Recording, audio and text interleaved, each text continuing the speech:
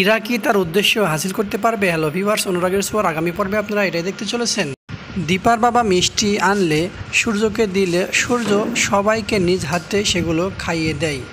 দীপার বাবা দীপার কথা বলতে বলতে হঠাৎ অজ্ঞান হয়ে যায়। সূর্য বলে, বাবার মাইলস্টোন হয়েছে।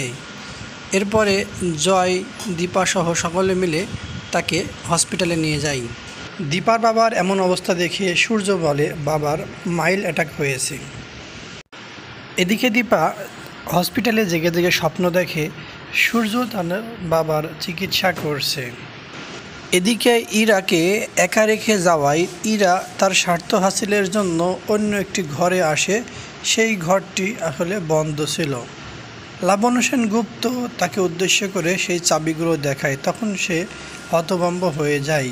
এদিকে দীপার বাবার জ্ঞান ফিরলে তার দুই মেয়েকে দেখে খুব খুশি হয় এবং দীপাকে বলে, আমি তোকে আর যেতে দেব না, আমার কাছেই তোকে থাকতে হবে। দীপা এখন করবে কি? ওদিকে সূর্যকে কথা দিয়ে এসেছে, দীপা, কোনো কথা খুঁজে পায় না, কি বলবে তার বাবাকে, কি বলে বোঝাবে? তো বন্ধুরা, এমনটা হলে কেমন লাগবে তোমাদের কমেন্ট করে জানিয়ে দাও তোমাদের মতামত।